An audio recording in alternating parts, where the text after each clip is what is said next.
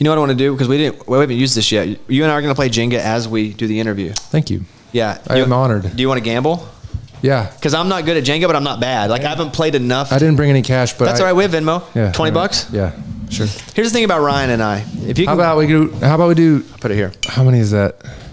How many, what do you mean? You, you know how, you can look we at can this. do per. He's an expert in No, no. Jenga. We can go per uh, block. what What do you mean? We can just go twenty bucks all in. Twenty bucks all in, all right. and I'll ask you questions as we play. Yeah. Um, uh, I'll go first because I'm the guest. All right, go ahead.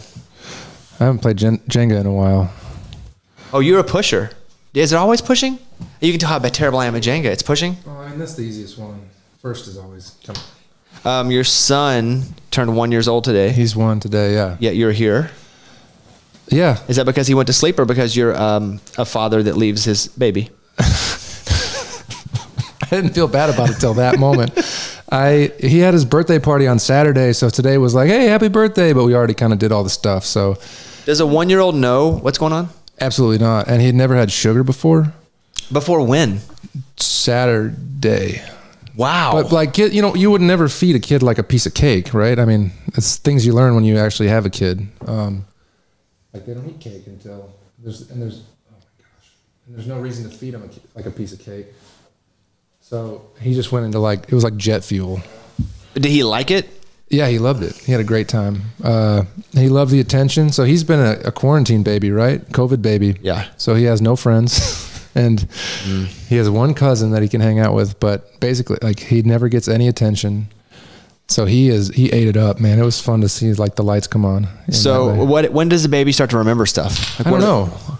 He's not going to remember his first birthday party. So that was Right. basically for you guys. So we didn't really get him like everyone got him like we had our families come over and they all got him these gifts and stuff and I was like ah, man I I hope my gift I got at the last second shows up in time. well, but again, if it didn't, who cares? Tell him his birth. Tell him. Yeah, he- that's for us. I got him like some like little wooden golf clubs that he just took the like the golf ball and put it in his mouth and that was it. you get him a new headset for Call of Duty. that's it is weird, man. The kids they just grab at your phone constantly, so you have to be constantly taking the phone away.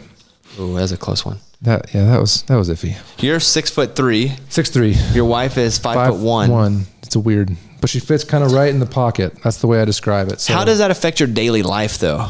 Because I would think there are certain things that only you can do, and some things you can't do at all because you're so big.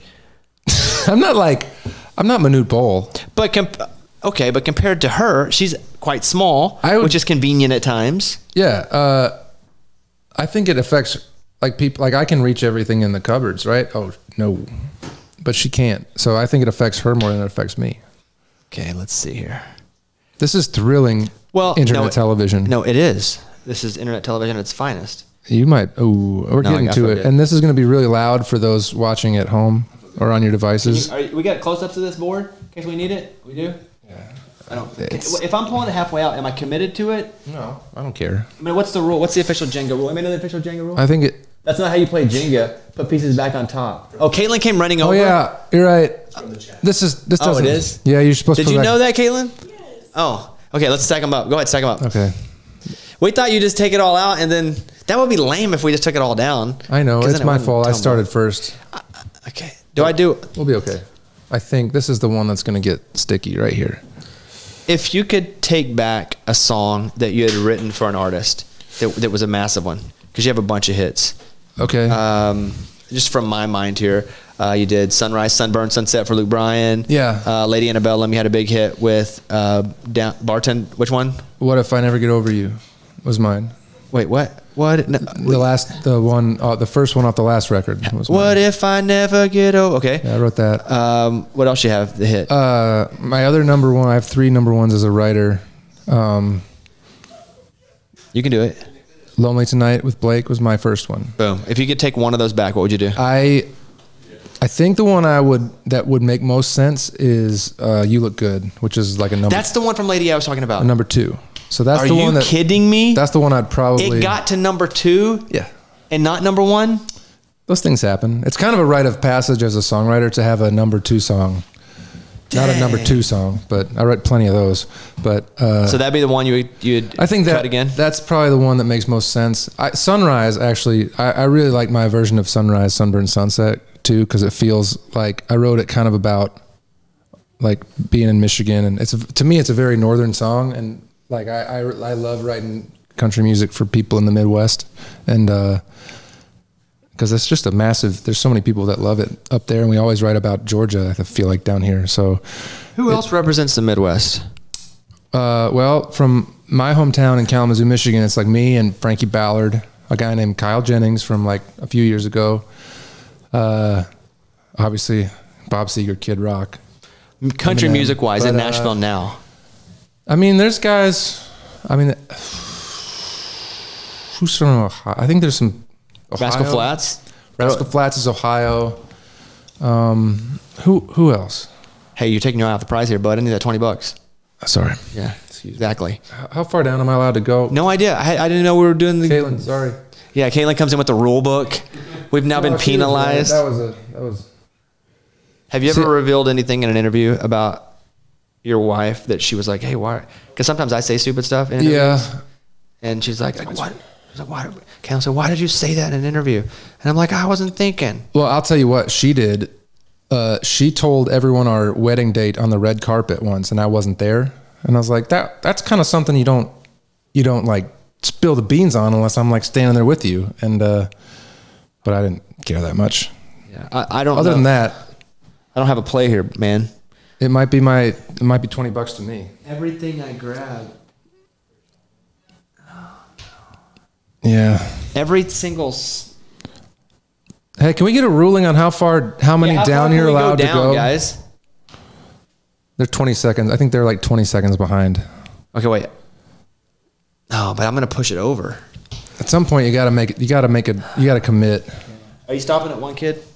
I Ask think him so. that as I'm trying to figure out. I I think so. I it's a I mean I Maren loves to tour and loves to work and our kid is awesome and he's really easy and we don't feel like at this point a huge need to add to this. I think 3 is perfect, but Oh, sucker. Look at but that. So you know, you never know. I, they say that you want three kids? Is that what I heard you say?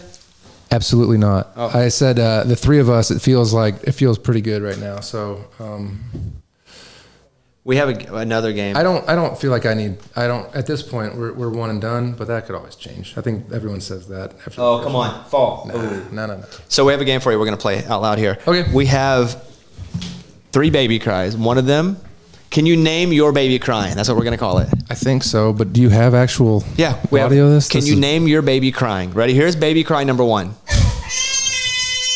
That's enough? There you No. go. Here's baby cry number two. That's enough? That's it. Hold on. Let's hear number three. Okay. Two. Two. Am I right? We're gonna play. Well, no, don't ask him. He's the sound guy, and he also. I think two- I'm pretty too, sure it's two. Everybody has nine jobs on this show. Gotcha. The game is called "Can You Identify Your Baby Crying?" I'm pretty sure it's two. Okay, the answer is none of them were your baby, and you left him oh. for his birthday party. Ryan Hurd is here, everybody. Oh. I knew you didn't have. How are you? How are you supposed? Ryan's reading the sign this meant for me. Go ahead, and read it out. Okay. It says, "Thank God for Caitlin because she corrected." Me I don't Jingle." have a. I do not have a podcast. I don't have the energy Look at to this. do it. But uh, Look at this. Boom. Joe's sister, 1987. I do not have a podcast. Thank you for saying it's my voice is soothing, but uh, I don't. I don't really have the uh, the stamina to to do that. I, I like. I write songs every day. That's kind of my my daily grind. You're up. So Um, here's a question for you. Someone on Twitch said, "How did how did you and I become friends? How did we become friends?" we met at the CMT Awards at uh, Bridgestone, and I actually had was reading your book, and you walked, and it was right when the Dierks and Maren song came out, and you walked up to me and said, "I like that song that Dierks and Maren recorded. I know you wrote it. My name's Bobby." And I said, "I'm Ryan, and I just finished your book." And so then, you know, I think we just traded numbers and started texting after that. So Smash cut. there you go. You're dropping your dog off. Yeah. So you, your dog and my dog are brothers. Yeah, half brothers, huh? That's what they say. Yeah, it's your move, by the way. We gotta have a winner here. Sorry. Yeah, the, the people. Uh oh. That might be. Oh, this might be it. I, I, mean, saw your golf swing. it's not very. No, no. Here's the thing. Ryan is always saying, "Hey, let's let's play golf," and I don't want to play with somebody who's really good. And I saw your on Instagram your golf swing, and was- you're, you're too good. You're But too who good. would ever who would ever post a bad golf swing? But That's you- gonna that's gonna end the game. It is. It has to. I feel like. But I'm committed though, huh? Yeah, I think at this point you can either you can try to put it back, but I don't know if you're gonna. I'm not a good golfer. I'm actually a, a 14 handicap, I believe, right now. Stay. Um, but I like playing Stay. scrambles, and I post the really good shots to Instagram. Like when you just crush one. Yeah. Oh, this is. You think it's, But- is this gonna stay up? No, it's. I don't think it. I think the physics are against you, but.